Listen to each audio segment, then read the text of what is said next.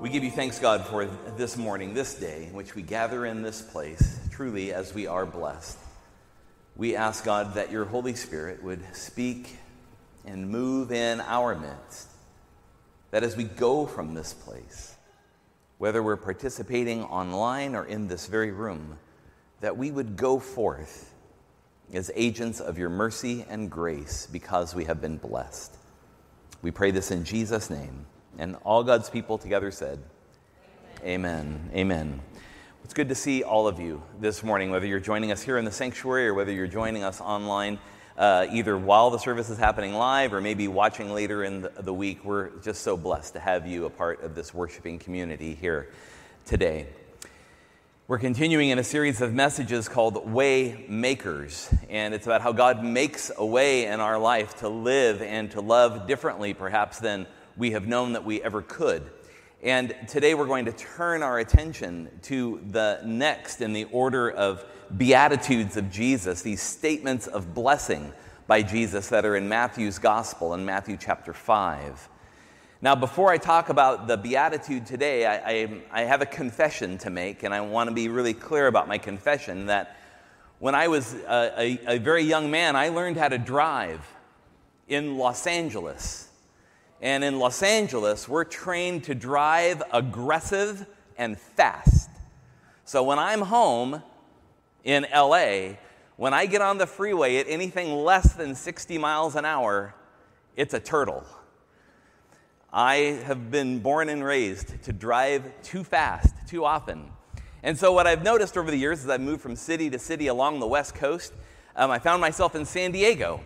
And in San Diego, people drive differently than LA. A lot of people think San Diego is the backyard of Los Angeles. Incorrect. San Diego is a city unto itself with its own culture. And one of the driving idiosyncrasies of San Diego is that when a San Diego driver wants to make a right hand turn, they get as far over to the left as they can before they turn right. It stops the entire right lane while we wait for the driver to make this big, wide, sweeping turn. And so I've lived in Sacramento, I've driven around the Bay Area, it has its idiosyncrasies, and then I moved to Seattle.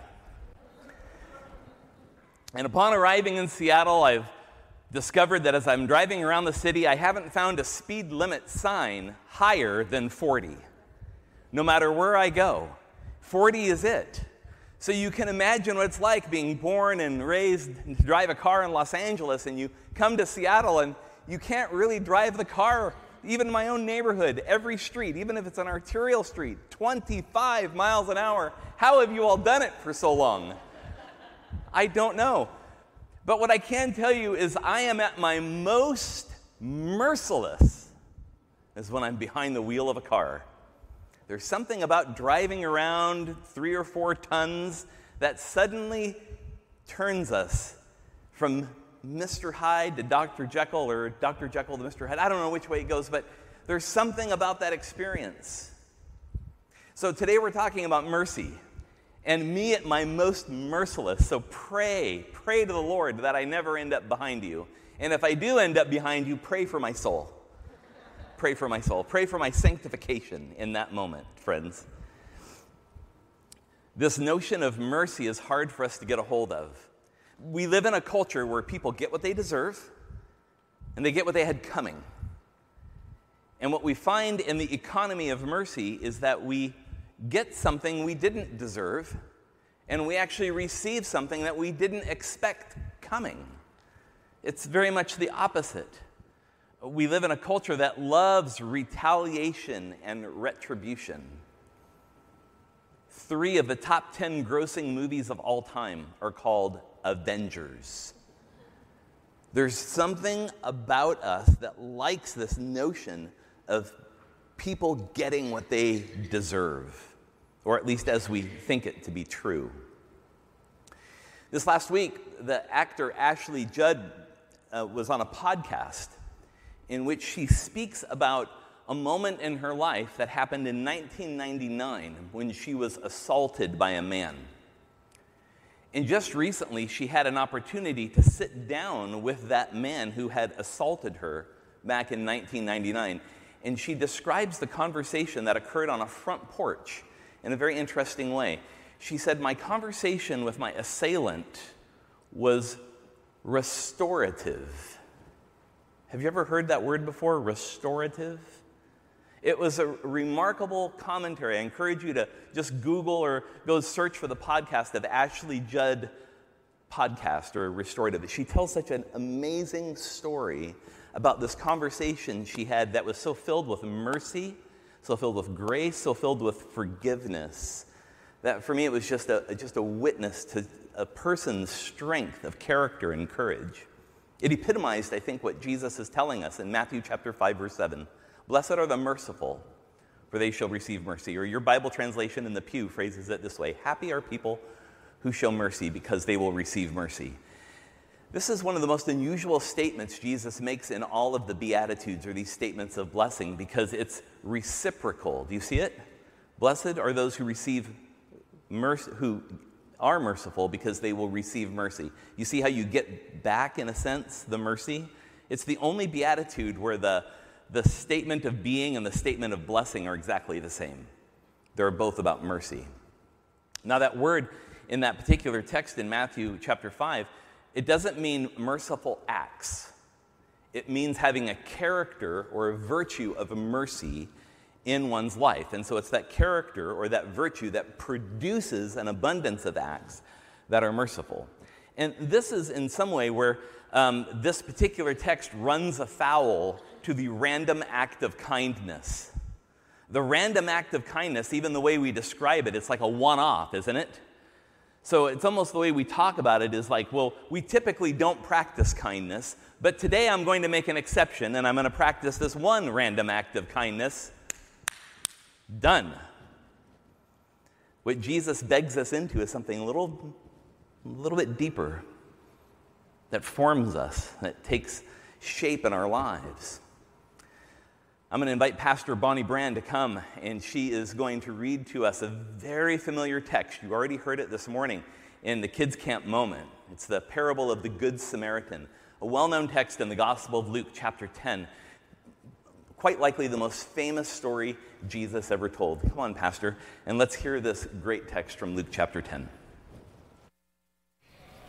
So, as Pastor Craig mentioned, our scripture for this morning is found in Luke 10 25 through 37 from the CEB Bibles, what I'll be reading. And if you want to follow along, it's on page 1263 or on the screen. A legal expert stood up to the test to test Jesus. Teacher, he said, what must I do to gain eternal life? Jesus replied, What is written in the law? How do you interpret it? He responded, You must love the Lord your God with all your heart, with all your being, with all your strength, and with all your mind, and love your neighbor as yourself. Jesus said to him, You have answered correctly. Do this, and you will live. But the legal expert wanted to prove he was right, so he said to Jesus, and who is my neighbor? Jesus replied, A man went down from Jerusalem to Jericho. He encountered thieves who stripped him naked, beat him, and left him near death. Now it just so happened that a priest was going down along the same road. When he saw the injured man, he crossed over to the other side of the road and went on his way. Likewise, a Levite came to that spot, saw the injured man, crossed over to the other side of the road, and went his way. A Samaritan who was on a journey came to where this man was. But when he saw him, he was moved with compassion. The Samaritan went to him and bandaged his wounds, tending them with oil and wine. Then he placed the wounded man on his own donkey took him to an inn and took care of him. The next day, he took two full days' worth of wages and gave them to the innkeeper. He said, Take care of him, and when I return, I will pay you back for any additional costs. What do you think? Which one of these three was a neighbor to the man who encountered the thieves? Then the legal expert said, The one who demonstrated mercy toward him. Jesus told him, Go and do likewise. This is the word of the Lord. Now, a question I meant to ask you before we heard the scripture reading, and thank you, Pastor Bonnie. Nancy, I'm going to have you put it up on the screen. Here's the question I want you to be wondering about, not only now, but perhaps during the week. What are some actions today which indicate a merciful person? Don't think about an act of mercy, think about a merciful person. And how have those been evident in your life? In other words, how have some of those actions of a merciful person been present in your life? Let's talk about the parable of the Good Samaritan. Now, I need about three or four hours to get through this parable. Is that okay with you all? Okay, we may not have that much time. It starts off with this question Who is my neighbor? It seems like an innocuous enough question, doesn't it? The, the Jewish religious leader, he's, he's a, an expert in the Jewish law, asks this question Who is my neighbor? But I want you to hear what's implied in the question. What's implied in the question is that there's then somebody who is my neighbor, and there's somebody who is not my neighbor. And so, what the legal expert is asking Jesus to do is to tell him, how can I tell the difference between a person who's my neighbor and who's my not, who's not my neighbor? Do you sense the narcissism in the question? How can I tell who is going to benefit me, and how can I tell who's going to be a liability to me? How do I separate those apart? So, the way the scholar even approaches the question is from the standpoint of their own perspective Who is my neighbor? And so then Jesus tells the story that we all know so well of the parable of the Good Samaritan. The story takes place on a road that goes from Jerusalem to Jericho. This is a too small picture of what that looks like. I took this picture back in 2017 in the Holy Land, and you can see, I even got somebody's, oh, you can't see it. I think he blocked it out. There's a finger in the picture. My wife is laughing over there because we accidentally got a finger in the picture when we took it. This is a picture of that road. Now remember, the parable of the Good Samaritan didn't historically happen. Got it? Because it's a parable of the Good Samaritan, right? But this is the road Jesus is talking about. This road is 17 miles long. It connects Jerusalem to Jericho. Jericho is down in the Jordan River Valley. Jerusalem is up in the mountains. It's a 3,330 foot elevation change between the two, over 17 miles. So if you want to take that trip, it consumes most of the day for a person to do so. And it was not uncommon for people to go back and forth, especially for priests and Levites. Many of the priests and Levites in Jesus' day lived in Jericho and they went to the temple up in Jerusalem. And they would do their shift, if you will. Most priests had a one month shift out of the year. So they would go to Jerusalem, work for a month, and go home for the other 11 months. Levites would have a, a similar but a little bit more frequent schedule, usually one or two weeks a month. They would go up to Jerusalem and then go home. So this was a, a freeway, if you will, that went back and forth. But I hope maybe what you can see in the picture is how desolate it is. There are no shrubs that grow there. There are no trees that grow there. Not until you get up toward Jerusalem do you get some trees. It looks like a moonscape that connects these two cities. And Jesus places the story on a road that everybody was familiar with. And it wasn't uncommon for people to get robbed on this road. Lots of twists and turns, so it was easy for those people who would be called robbers to hide and you know, to assault somebody on the road. And in this case, they assault a man. Jesus doesn't tell us who the man is, but the man who's assaulted is the most important person in the story because the story is told from that man's perspective. It's not told from the perspective of the Samaritan, it's told from the perspective of the man who was assaulted and left for dead on the side of the road. And so there are three individuals who come by. Individual number one, a priest. So the priest, who's uh, going about their priestly duties at the temple in Jerusalem, sees the man on the side of the road and he walks by on the other side. The text doesn't tell us why he walks by on the other side. Doesn't explain anything about why he walks by on the other side, only that he sees the guy and he walks by on the other side. There are any number of reasons he could have done so. The priest could have thought he was dead. And if that was the case, if the priest touched him, he would be ritually unclean for 14 days. and he would be placed on the injured reserved list for his duties at the temple. Uh, the priest could have thought that if I stop and help him, then I'm going to be encumbered financially or my time or something. The, the individual is going to consume something from me. And so instead of having that consumption happen, the priest just walks by on the other side. And then along comes a Levite right after that. And the Levite is um, a member of the priestly household. So I'll try to explain it. Every priest is a Levite, but not every Levite is a priest. How's that? That work? So the Levite is associated with the work of the priest. Levite does the exact same thing. Sees the man injured on the road, walks by on the other side. So if you're there listening to the story and you hear about the priest and the Levite both walking by on the other side, if you're listening to Jesus, you're thinking, oh, I know where this is going to go. He's going to tell a story that makes all the religious leaders look bad. And if that were the case, the third person to walk by would be like a Jewish layman, right? Here are these two clerics that came by and did nothing, and then along comes a Jewish layman, and he's the one who helps. If that were the case, this story would be a story that's indicting the religious leadership of Jesus' day, the priests and the Levites. But Jesus doesn't pick a Jewish layperson, does he? He doesn't pick a Jewish woman, does he? He doesn't pick a Jewish slave, does he? Who does he pick? He picks a Samaritan, of all people. Now, this is where the three hour sermon comes in. For me to explain why Samaritans and Jews hate each other would take about that long. Just suffice to say, trust me on this one, they hate each other. And it's a long and complicated story that lasts for 500 years why they hate each other. They can't stand each other. If you were a Jew, you would rather spend time with a Gentile Roman than you would with a Samaritan.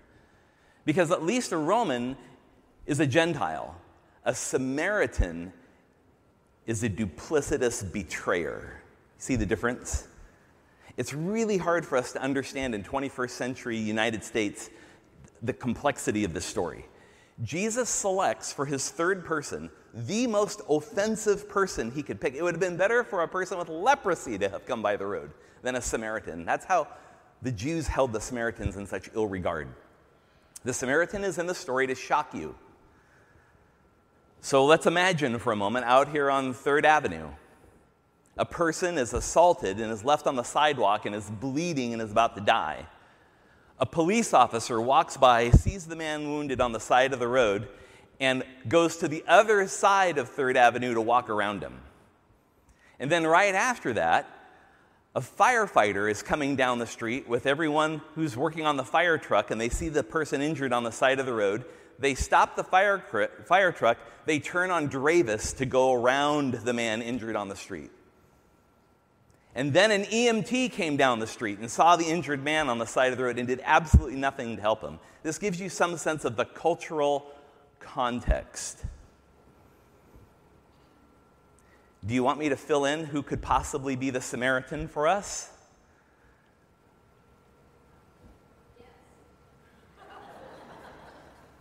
I'm going to let you imagine who that would be. The reason is is because that person is a little bit different for each one of us, isn't it? And in a sense, our capacity to identify that person, to visualize that person just for a moment, betrays our mercilessness. This is what Jesus was trying to convey to the people who heard this story. I want you not to hear the story and put it in your head. I want you to feel the story in your heart. Think of the most offensive, scandalous person you know. You can possibly associate culturally or personally. That's the person. It's reorienting, isn't it? to sit in the emotional space that we find there. Now, Pastor Stephanie,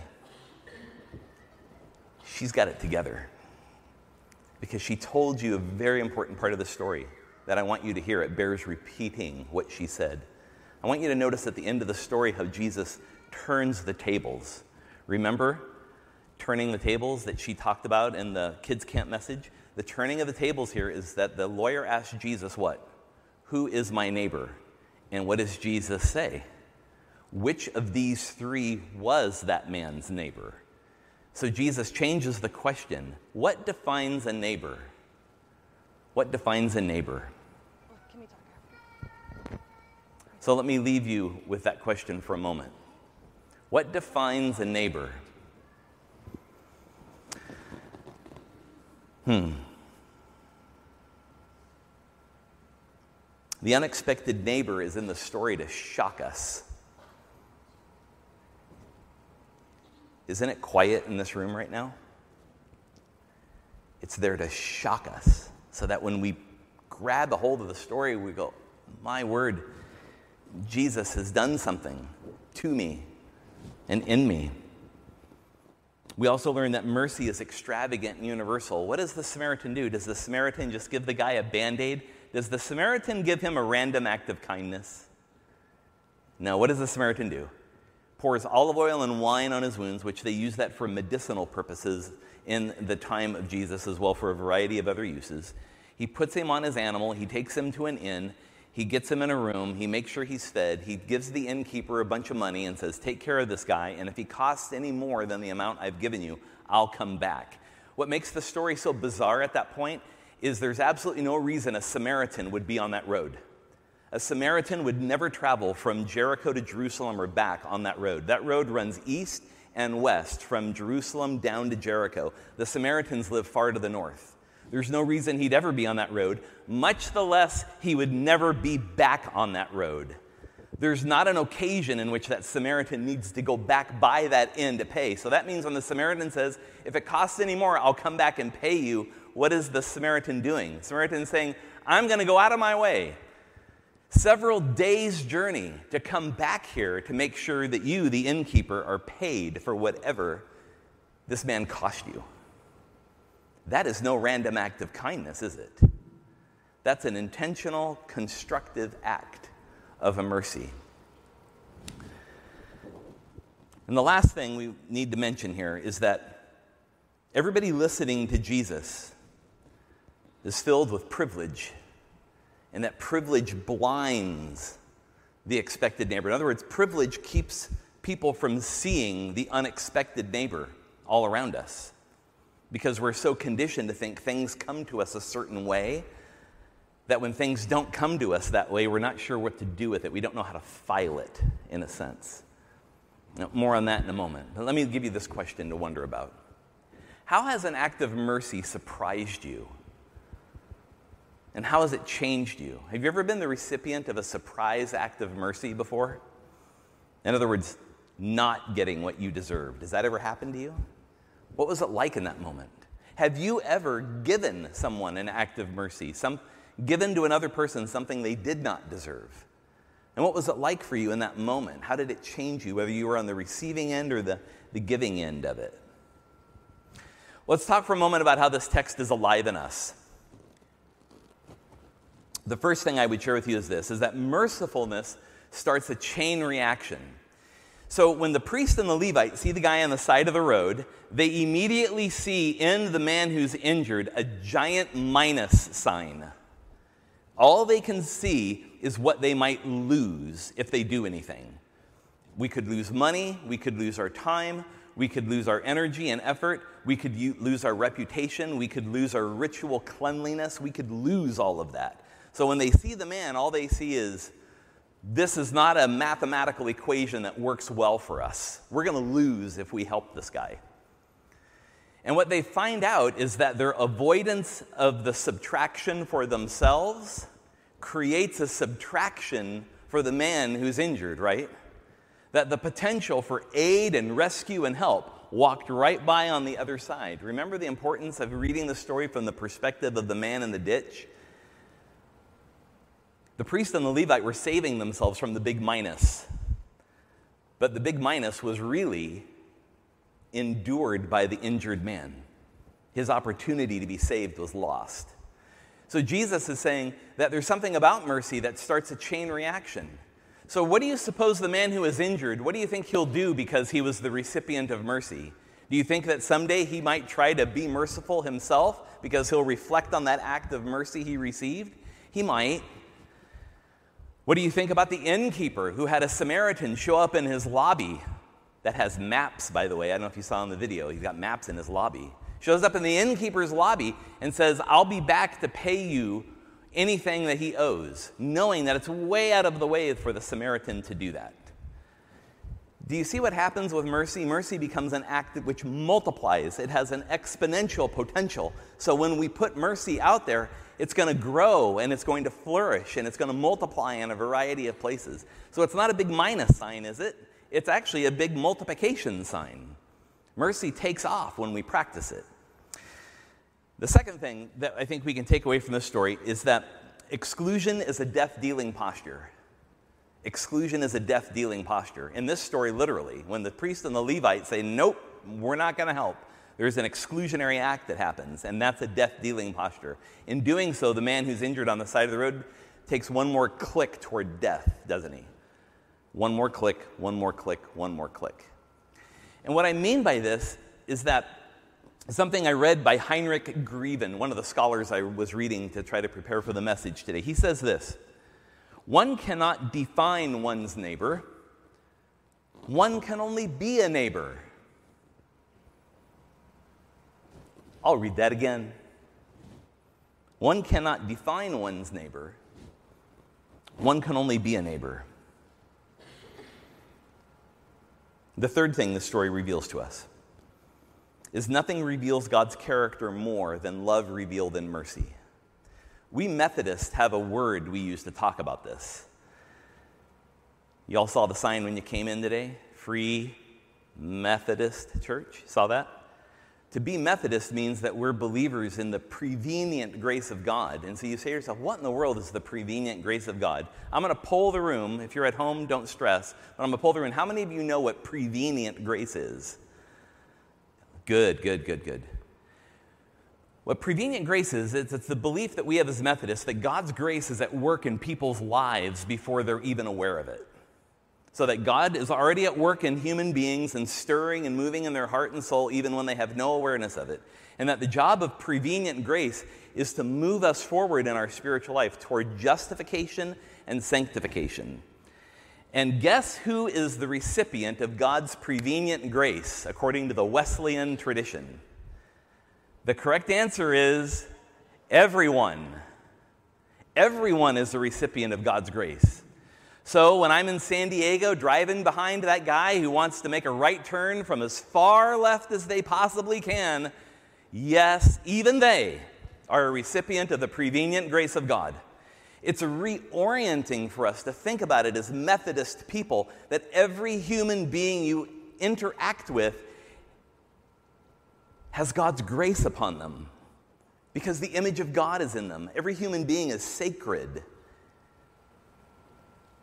So every moment in which we try to form judgment, which we try to condemn, that's a losing battle. Because God's grace is upon every single human being. Our Reformed brothers and sisters talk about con- unconditional election, as if there's some way everyone who's going to heaven, God decided, and everyone who's not, well, God decided that too. We as Methodists reject such notions. We believe that God's grace is on everyone. Everyone. And that triggers a mercy response in us. And the fourth thing I think we can learn from this text is that assume you yourself are in the posture of need. I'm keenly aware of this when I'm driving an automobile. Or at least I need to be more keenly aware of it when I'm driving an automobile. That I myself am in need.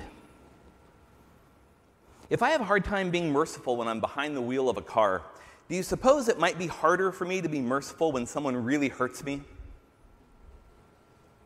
Do you suppose that if I have a hard time formulating mercy for some anonymous person in a crosswalk or behind the wheel of a car or standing behind the cashier counter at some store, if I have a hard time formulating mercy for those people that I don't know, that I haven't interacted with, that they haven't actually done anything to me, how much harder is it going to be for me to have mercy on someone who does deep traumatic damage to me.